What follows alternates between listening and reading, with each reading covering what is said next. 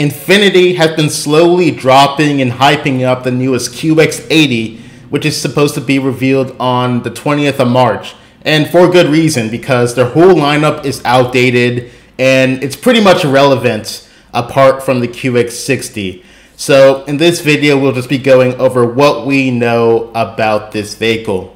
So let's start with the exterior. We have a general idea of how this vehicle will look due to the monograph concept, along with videos of it disguised in camo from Infiniti's own hype campaign. And like every other Infiniti QX60 slash QX80, we know it's going to be big and boxy. We did get some leaks of what this vehicle will be looking like in the flesh, and this comes from a car expert article that I'll link in the description. So here we have a massive front end with uh, daytime running headlights uh, that we've seen before in the teasers. The main headlights are going to be divorce units lower in the bumper. Um, there isn't much more to say other than it looks like an evolution of the existing QX80, QX56 lineup, and I think it looks fine enough. The leak only covers what the front of the vehicle will look like. The rest of the vehicle, we can kind of get an idea of that from what it looks like from the teasers, and we can expect an air duct on the hood of the vehicle, and we can expect these LED um, rear light bar on the rear of the vehicle too. Performance-wise, Infiniti is dropping the 5.6 liter V8 and going with a 3.5 liter twin turbocharged engine rated for 450 horsepower and 516 pound-feet of torque. This is an increase of 50 horsepower and 103 pound-feet of torque versus the outgoing V8. I put a quick comparison on a spreadsheet and we see that Infiniti is ranking towards the top of its class in terms of horsepower and torque. Um, and the vehicles that are above it in terms of power are probably going to start at a way higher price than that of the QX80. The new engine is going to be made to a 9-speed automatic transmission. Infiniti says that it has a 40% wider gear ratio uh, range, allowing for uh, both responsive acceleration and efficiency on highway cruising. In short, it pretty much has the same setup as the Nissan Z, but with some modifications, of course. Infiniti says that this will deliver better fuel economy despite making more power. It will also have active grille shutters that will work at highway speeds to deliver better aerodynamics and thus better fuel economy. For those who want a smooth ride, Infiniti will offer electronic air suspension and dynamic digital suspension technologies.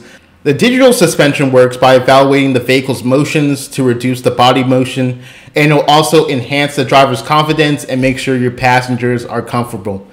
They also mentioned that the air suspension automatically lowered when the vehicle is in park to make it easier to load or unload luggage and passengers if you have older passengers. A potential interior image was leaked as well. We have a brand new steering wheel. It's reminiscent to me of the design that Genesis used for the GV80. If you like screens, you like this vehicle because they're using a typical dual screen setup However, these seems like they're a bit larger than the typical 12 inch on the digital display and the infotainment system.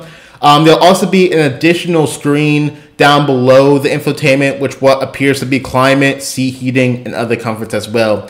Ambient lighting seems to be present throughout the vehicle. There's a much more to take away here until the full reveal, in my opinion.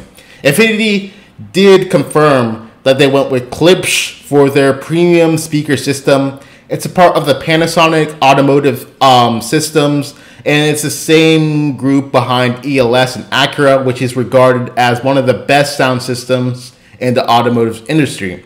So I expect high marks here for Infiniti. It's going to have up to 24 speakers at 1200 watts, meaning that they might have lesser versions uh, for a lower grade, like 12 to 16 speakers, for example.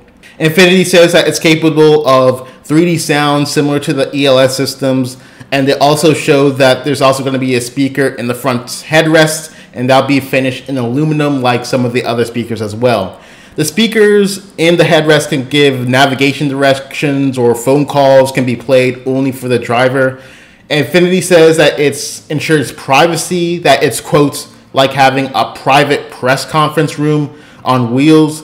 Um, while I'm sure it disrupts the music less if you're ex- if you're receiving turn-by-turn navigation systems for your path for your passengers, I'm sure that people could probably still hear it.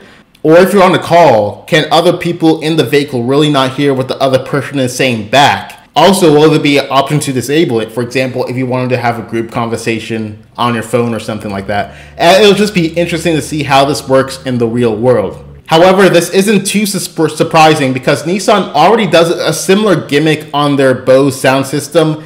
Uh, even in something as small as a Nissan Kicks, I don't think it has the same, you know, call direction functionality as the Infiniti, but they do put those speakers in the headrest.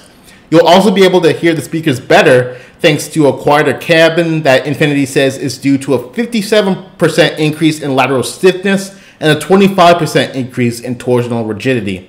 There's also a new feature called biometric cooling, and this is going to use an integrated camera um, that's integrated into the vehicle's headliner. When it detects a passenger is warm, it'll adjust the temperature accordingly and the airflow to send the cool air to the second row without those in the front seat needing to do anything.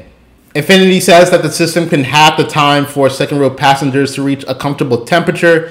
Uh, it's kind of excessive, needing a whole infrared camera just to cool your vehicle. I'm not even sure if I want a camera to look at me at all times, but that said, that's what you're paying 80 grand in a luxury vehicle for. Speaking of excessive, there'll also be seat massaging capabilities, but not just on the first row, but on the second row as well. There'll also be ventilated seats for both rows as well. In one of the teasers, they shows the con- the controls for the seat massaging and ventilation being where the middle passengers could sit. So it sounds like there'll be a captain's chairs only option, similar to big luxury sedans like the 7 Series, the LS, and even the Lexus um, LX600.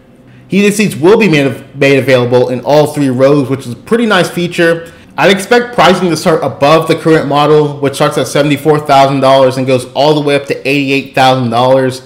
Here I'm expecting something like 77,000, and if you go all the way to the low 90s on the high end, but that's just a quick observation. So this looks pretty prom- promising from Infiniti. It seems like they've done a lot of good work here, but we'll find out all the details on the March 20th reveal date.